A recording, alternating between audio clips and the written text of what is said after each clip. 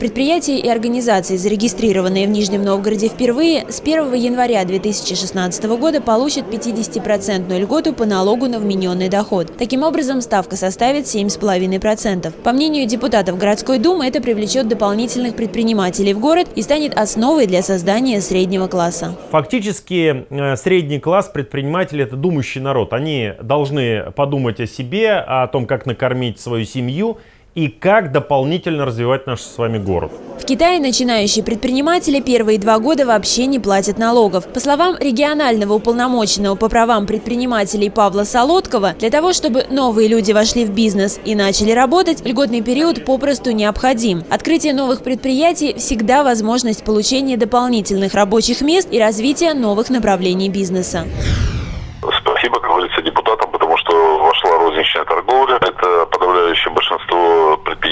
Ну и бытовые услуги, общепит очень важно. Есть вероятность, что городская казна с сокращением налоговой ставки может пострадать. Но именно те предприниматели, которые придут в следующем году, в долгосрочной перспективе станут опорой экономики страны. Бизнес может сегодня вытащить Россию из той ямы, в которой она находится. Это, прежде всего, яма экономическая, глубокая рецессия, снижение доходов населения.